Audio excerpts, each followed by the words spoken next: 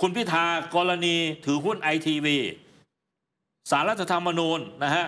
ก็ใจดี เพราะคุณพิธาขอขยายเวลาออกไปอีกนะฮะค่ะเพื่อที่จะจัดทำบันทึกถ้อยคำยืนยันข้อเท็จจริง หรือความเห็นล่วงหน้า แล้วให้จัดส่งมาภายในวันอังคารที่ 12 ธันวาคมคืออังคารหน้า ทั้งนี้เพื่อให้เป็นไปตามพระราชบัญญัติประกอบรัฐธรรมนูญว่าด้วยวิธีพิจารณาของสารรัฐธรรมนูญ ปี 61 มาตรา 64 ที่สารรัฐธรรมนูญต้องสำเนา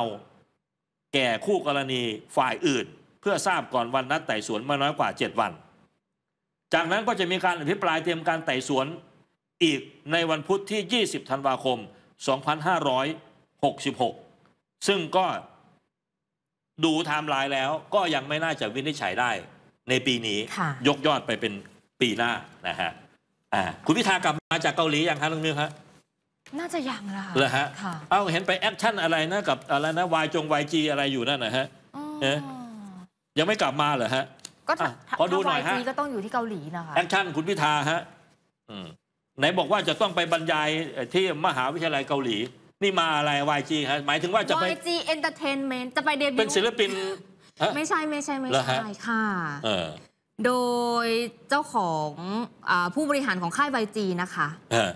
มีการถ่ายภาพคู่กับคุณพิธาค่ะอืมอ๋อใช่ใช่แล้วก็คุณพิธาเนี่ยเขาก็โพสต์ภาพผ่านไอจส่วนตัวเออแล้วก็บอกได้ว่า มาเรียนรู้กับประธานของ YG Entertainment วันที่มีข่าวดี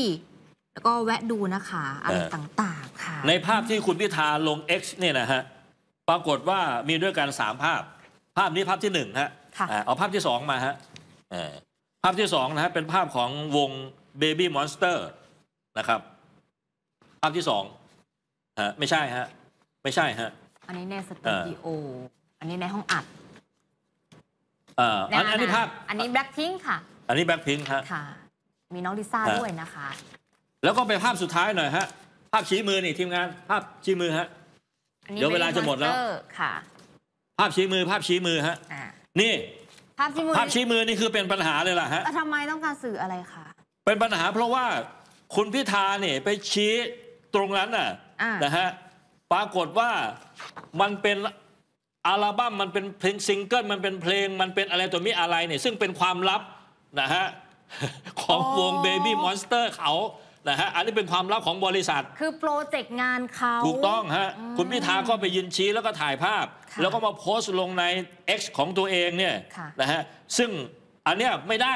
เออพอมีคนไปโต้แย้งปุ๊บคุณพิธาก็รีบลบออกแล้วก็ขอโทษทันทีค่ะนะฮะเพราะว่ามันกระทบกับโอ้โห business เขาเท่าไหร่ฮะน้องมิวฮะโอ้โหนะประเมิ YG นอะค่าไม่ได้เลยนะคะเออแบล็คพิงของของของเอ่อน้องลิซ่าเออแล้วลิสามโนบาลน่ะค่ะนะฮะแล้วก็วงใหม่ใช่ไหมฮะ Baby Monster นี่เออเนี่ยฮะ